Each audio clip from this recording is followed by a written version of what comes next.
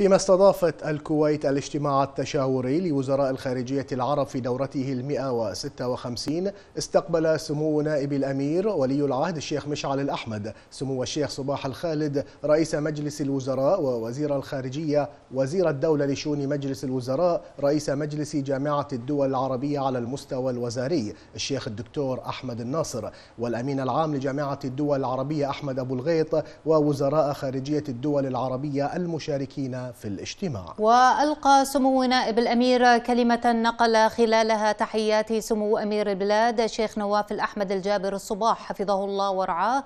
وترحيبه بالحضور مشددا على أهمية العمل المشترك وضرورة وحدة الصف العربي. وأشار إلى أن هذا الاجتماع يأتي في ظل ظروف دقيقة إقليميا ودوليا إضافة إلى استمرار جائحة كورونا. وما يترتب عليها من أبعاد وتداعيات تتطلب عملا جماعيا وتنسيقا مستمرا. يأتي اجتماعكم اليوم في ظل ظروف دقيقة اقليميا ودوليا وقد أضاف استمرار جائحة كوفيد 19 إليها ابعادا وتداعيات تتطلب عملا جماعيا وتنسيقا مستمرا وتواصلا دائما وتشاورا صريحا ووضع حلول مشتركة لمواجهتها والحد من آثارها. ولعل ما يبعث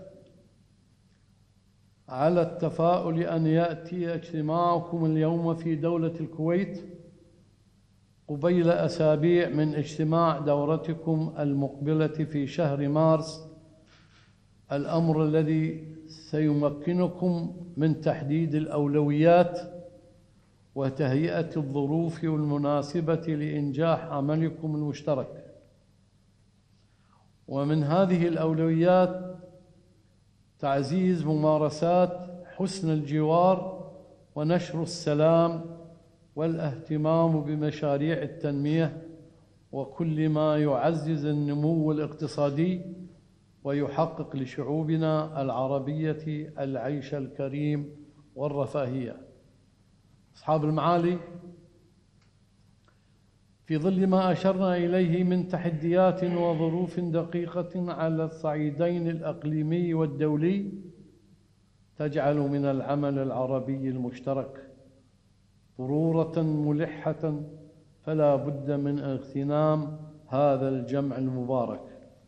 باعتبار كل واحد منكم واجهة مشرفة لبلده الشقيق. لتدارس لتدارسوا التحديات التي تواجه عملكم المشترك والسعي إلى تعزيزه والانطلاق به إلى آفاق أرحب.